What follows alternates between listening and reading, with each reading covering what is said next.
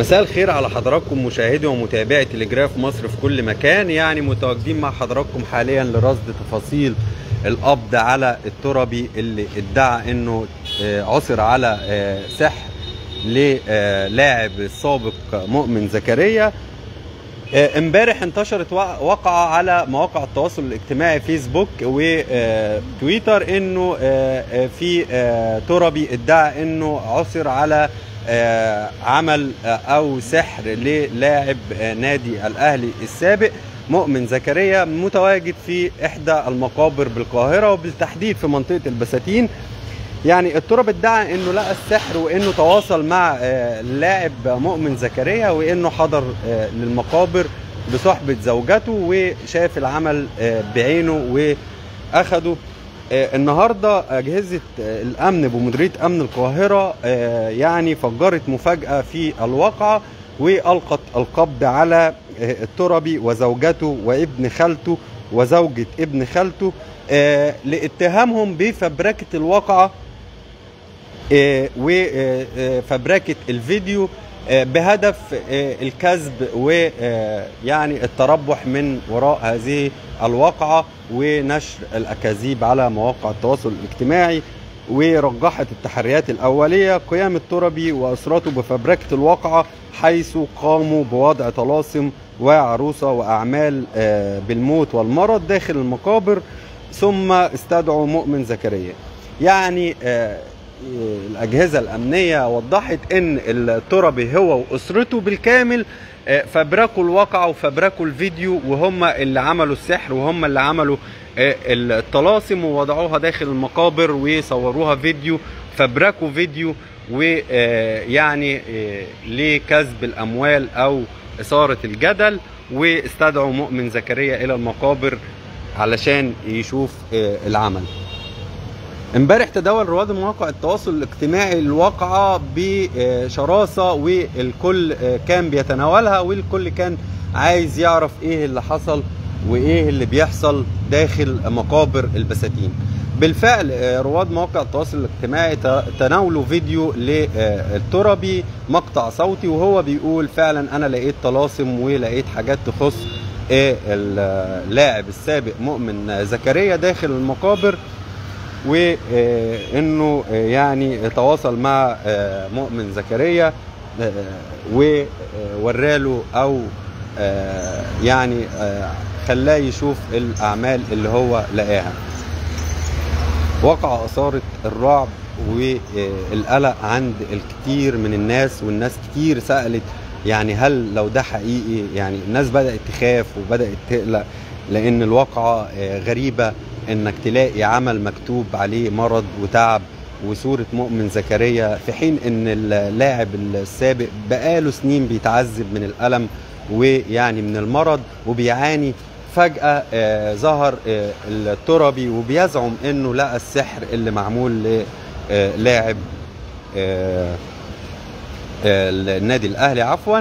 وإنه آه، خلاص مشكلة مؤمن زكريا اتحلت. واقعه اثارت يعني رواد مواقع التواصل الاجتماعي بشكل كبير جدا آه، وظهر التربي مع الإعلامية آه، ريهام سعيد من خلال ساعات الماضية وقال إنه عثر على سحر يحمل اسم اللاعب مؤمن زكريا في إحدى المقابر التابعة لمنطقة البساتين بالقاهرة وإن الحوش اللي لقى فيه ال- ال- السحر يعني ملهوش علاقة بكابتن مجدي عبد الغني لا من قريب ولا من بعيد.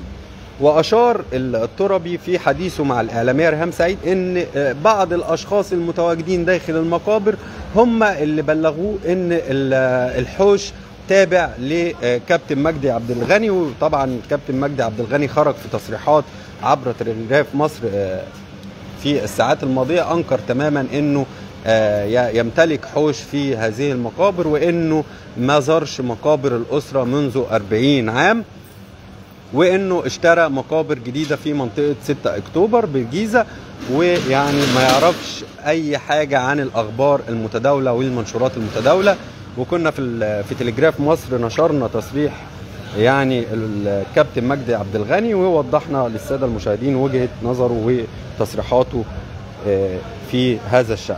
النهارده الأجهزة الأمنية ألقت القبض على التربي وأسرته وأربع أشخاص من أسرته في آه، اتهامهم ب يعني نشر أخبار كاذبة وفبركة الواقعة وتزييفها. يعني آه الأجهزة الأمنية بمديرية أمن القاهرة ألقت القبض على التربي وزوجته وابن خالته وزوجته وزوجة ابن خاله خالته ولفبركتهم وقعة السحر المؤمن زكريا كما تم القبض على نجل التربي لقيامه بتصوير الواقعة يعني الأسرة كلها تم القبض عليها التربي ونجله وزوجته ويعني خالته وزوجة ابن خالته تم القبض عليهم ليه؟ تم القبض عليهم لأنهم فبركوا الواقعة زيفوا الواقعة عملوا سيناريو ل- للواقعة جابوا ورق عملوا عليه طلاسم وسحر جابوا صورة ال- اللاعب النادي الأهلي مؤمن زكريا وأضافوا عليها بعض الطلاسم الغير حقيقية ودفنوها داخل المقابر وقاموا بتصويرها فيديو علشان يوثقوا إن دي واقعة حقيقية وبعتوها فعلا للاعب النادي الأهلي مؤمن زكريا وادعوا إن مؤمن زكريا تواصل معاهم وجالهم ويعني إيه إنه معمول له سحر وإن خلاص أنت هتخف. طبعا مؤمن زكريا نتمنى له كلنا الشفاء العاجل. بقاله سنين بيعاني من المرض بقاله سنين بيحاول إنه يعني يقوم ويقف على رجليه تاني. آه، اتعلق بأمل اتعلق ب ب ب بأمل هو عايش عليه بقاله سنين. طبعا على حسب رواية التربي لبعض ال- الصفحات على الفيسبوك وال social media إنه مؤمن زكريا تواصل معاهم وراح لهم لحد المقابر وقعد معاهم وشاف العمل بنفسه هو وزوجته. ده على حسب كلام التربي إيه، وتم التواصل مع مؤمن زكريا وتم يعني آه، قعدة بينهم وبناء عليها مؤمن زكريا أخذ العمل بتاعه ومشي. كواليس القعدة هو ما حكاهاش التربي بالظبط وما قالش تفاصيلها. ولكن النهارده الأجهزة الأمنية فاجئتنا كلنا بخبر القبض على التربي وزوجته ونجله وخالته وزوج ابن خالته. تم القبض على خمس أشخاص في هذه الواقعة. خمس أشخاص متورطين في فبركة هذه الواقعة وتزييفها لإثارة الرأي العام ويعني كسب الأموال من وراء هذه الواقعة. وقيامهم بتصوير فيديو يعني يعني أنا يعني فين أنا الحقيقة عاجز عن الكلام. يعني شخص آه، عمل تمثيلية آه، جاب ورق كتب عليه طلاسم جاب صورة كابتن النادي الأهلي مؤمن زكريا آه، حط عليها بعض الطلاسم دفنها داخل المقابر وخلى ابنه يصوره فيديو وهو بيطلعها علشان يأكد إن الواقعة حقيقية وب- وبالصدفة. وبالفعل قاموا بتصوير الواقعة فيديو ووثقوا الواقعة بالفيديو وتواصلوا مع لاعب النادي الأهلي مؤمن زكريا وقالوا له إحنا لقينا عمل ليك. عمل بالمرض وبالموت وبالفشل. طبعا مؤمن زكريا على حسب رواية التربي لبعض المواقع الإعلامية أو لبعض الصفحات على مواقع التواصل الاجتماعي إن مؤمن زكريا توجه إليهم بالفعل وتم التواصل معاهم وراح لهم لحد المقابر وظهرت إحدى الفتيات. على منصات ال social media وقالت إن مؤمن زكريا حضر عندنا امبارح بنفس الطريقة وقعد معانا وشاف العمل. وإحنا معانا فيديوهات كتير قوي ممكن نطلع بيها ترند ولكن كنا متفقين مع كابتن مؤمن إن إحنا مش هنقول لحد. آه، وارد جدا يكون اتفاقهم مع كابتن مؤمن إنهم ما يطلعوش السر لحد أو ما يقولوش السر لحد لأن الواقع كذب. ولكن آه، الأسرة تفاجئت إن ال social media كلها عرفت بالواقع وال social media كلها بتتكلم عن الواقع وكذبهم اتكشف والنهارده الأجهزة الأمنية ألقت القبض عليهم جميعا. الخمس أشخاص تم القبض عليهم وبيتم الآن التحقيق معاهم لمعرفة أسباب يعني اختلاقهم لهذه الواقعة ونشر أخبار كاذبة وترويع الناس. ال-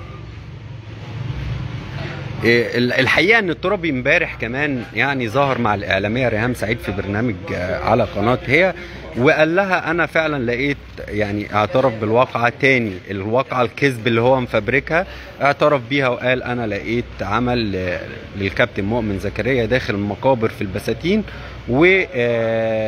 وتواصلت مع مؤمن زكريا وجالي هو وزوجته قعدوا معايا وكمان آه، صرح قال أنا ما أعرفش إن الحوش تابع لكابتن مجدي عبد الغني ولكن بعض الأشخاص المتواجدين في المقابر قالوا لي إن الحوش ده تابع لكابتن مجدي عبد الغني. خرج آه، كابتن مجدي عبد الغني في تصريحات خاصة لتلجراف مصر يعني الساعات الماضية وقال أنا ماليش علاقة بهذا الحوش ولا ليا أي عداوات مع كابتن مؤمن زكريا ومليش علاقة بيه علشان أعمل له عمل أو أضره بحاجة زي كده بالعكس أنا بحبه وكنت كتير بحاول أساعده وأنا ما عنديش حوش في آه، مقابر البساتين.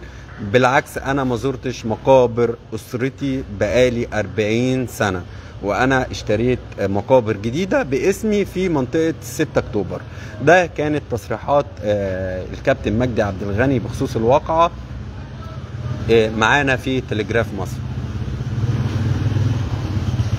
دي كانت آخر التفاصيل وآخر التطورات في هذه الواقعة وإنه تم القبض على خمس أشخاص متهمين في هذه القضية بنشر أخبار آه، كاذبة وإثارة الرأي العام وبناء عليه الأجهزة الأمنية ألقت القبض على التربي ونجله وزوجته وابن خالته وزوجة ابن خالته.